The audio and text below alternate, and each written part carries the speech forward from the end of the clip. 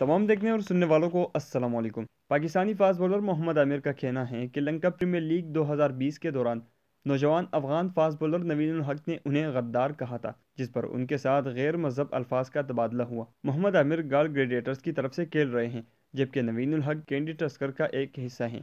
आमिर ने एक इंटरव्यू के दौरान कहा कि मैच की सूरत हाल के मद्देनज़र मेरा रवैया भी जारहाना था और नवीन हक भी मुझे तेज दिलाता रहा।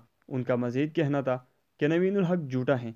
मैंने उनके बारे में या अफ़गानिस्तान के बारे में कभी कोई मनफी तबसरा नहीं किया। वो मुझे गद्दार कहकर मुसलसल बदसलूकी का निशाना बना रहा था और बोला कि मुझे पाँच साल तक जेल जाना चाहिए था। आमिर ने कहा कि मैच के दौरान एक खिलाड़ी के दिल की धड़कन 170-200 तक होती है, लिहाजा कोई शख्स सीधा सोचने के काबिल नहीं होता, तहम उसकी हौसला शगनी होनी चाहिए।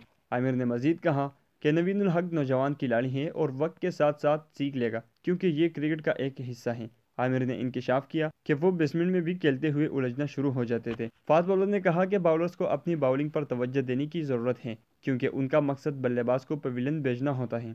सबक पाकिस्तानी कप्तान शाहिद अफरीदी ने नवीन उल हक को जो कहा, उसके बारे में बात करते हुए मोहम्मद आमिर का कहना था कि शाहिद अफरीदी ने उसे बताया कि सीनियर्स के साथ सलूक करने का ये तरीका नहीं है। ये सिर्फ़ एक खेल है जिसमें कभी भी कुछ भी हो सकता है। तो मुझे ये थी मोहम्मद आमिर के हवाले से कुछ अपडेट्स उम्मीद करता हूँ कि आपको पसंद आई होगी।